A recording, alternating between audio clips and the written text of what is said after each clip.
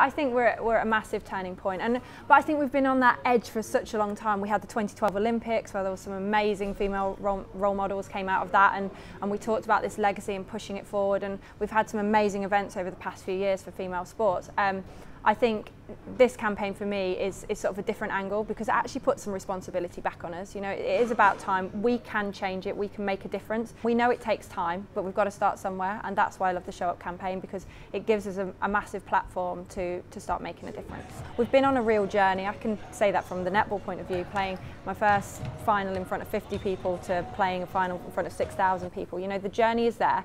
Um, but it's now sort of breaking down that, that sort of um, stereotypical, you know, female sports, we, we love the big, big events, but actually there's regular stuff going on all the time across the country in all different sports that people can get involved in. And we want kids at a young age to get involved in sport and love it. We know then it's going to set them up for life in terms of a healthy lifestyle and um, and all the other added extras that comes with, with the mental well-being. It's, it's an amazing opportunity. I have a five-year-old. I think getting them kids involved at a young age, especially girls, and you know having dads take their daughters down and, and boys actually seeing it in a whole different light, I think it starts to change perspective.